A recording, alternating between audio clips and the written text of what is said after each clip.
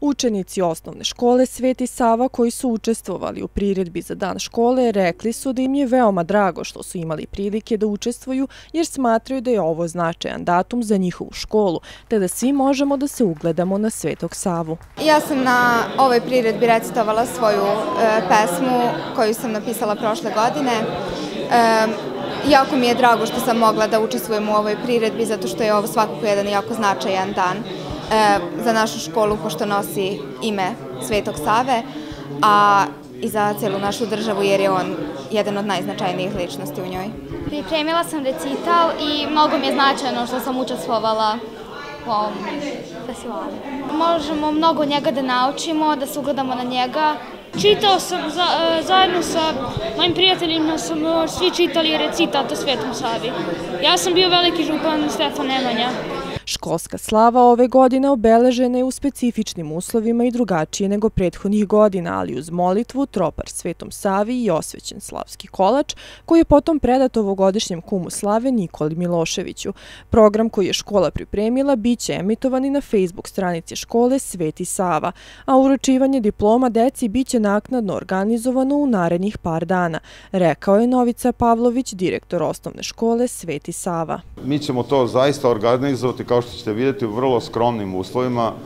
Program će trajati 15 minuta, čisto da se ovaj, obeleži školska slava, a sav taj, ajde da kažemo, materijal će ići ovaj, na našoj zvaničnoj Facebook stranici. Naravno, ovaj, sva ostala što se tiče priznanja, deci i tako dalje, će se deliti tamo već sutradan, sreda i četvrtak, gde ću ja e, posetiti svako odelenje i uručiti deci zahvalnice ovaj, za dan škole. Svečanost u osnovnoj školi Sveti Sava uveličao je i gradonačelnik Stevan Bakić, koji je tom prilikom rekao da je u protekle četiri godine uloženo 500 miliona dinara u subotičke škole i poručuje da će grad Subotica nastaviti da ulaže u obrazovanje i istakao da otkrivanjem spomenika danas u Beogradu cijela Srbija vraća dug velikom županu Stefanu Nemanji, ocu Svetog Save. Veliko mi je zadovoljstvo što ste me pozvali da budem gost na školskoj slavi, ujedno i danu vaše škole, koja nosi ime po Svetom Savi, čiji svešteni lik i besmrtno delo danas proslavljamo.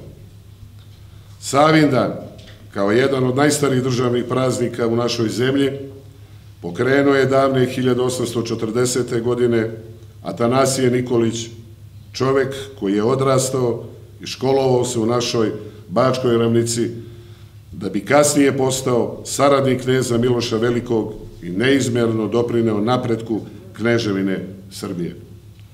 Od tada slavimo prvog srpskog prosvetitelja Svetog Savu kao duhovnog pokrovitelja našeg obrazovnog sistema. Sveti Sava osnovao je manastir Hilandar i svojim čvrstom verom u Boga verovao je i u ljude – Zahvaljujući njemu, Srpska pravoslavna crkva postala je autokefalna.